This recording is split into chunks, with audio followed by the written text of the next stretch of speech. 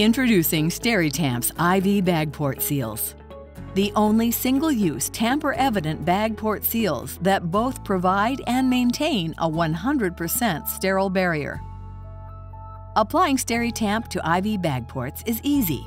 Supporting the underside of the liner, grip the tab with your thumb and index finger where the tab meets the base of the seal. Then roll the SteriTamp off the liner. Now align the IV port with the circle on the sterile surface of the seal. Fold the seal over the top of the injection port.